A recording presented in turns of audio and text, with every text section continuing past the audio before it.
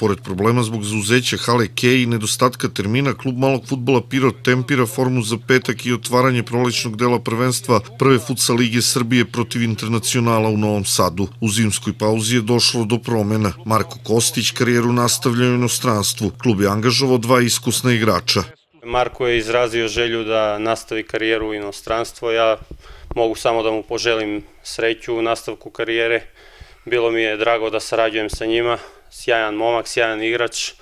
Kao što ste rekli, Miloš Pečić je povratnik, da kažem, od njega očekujem da bude lider ekipe i da pored Krstića, Kostića, Stojiljkovića, Đorđevića nosi ovu ekipu do minimum opstanka u prvoj ligi. Internacional u svojim redovima ima i reprezentativca Milosavca koji je igrao na nedavno završenom evropskom prvenstvu u Sloveniji, ali pre svega ima dobar i čvrst tim. Jesenas je u Halikeji i klub malog futbola Pirot pobedio sa 1-0. Takva igra je recept za pobedu i u Novom Sadu. Ekipa Internacionala je jedna čvrsta ekipa, fizički dominantna.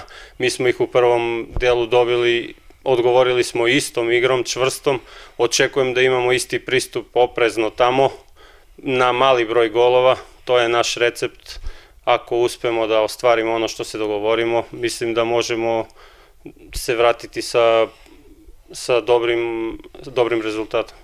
Nažalost, i na ovom gostovanju naš tim neće biti kompletan. Zbog obaveza na poslu izostaju Đorđević i Mišić. Prioritetni cilj u ovoj polusezoni je da se izbori opstanak u prvoj ligi Srbije. Cilj je opstanak, prvi i osnovni cilj je opstanak, ako može još nešto više da se uradi. Mislim da ova ekipa zaslužuje da zadrži status prvoligaša.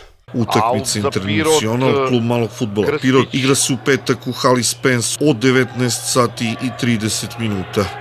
para que Kitsune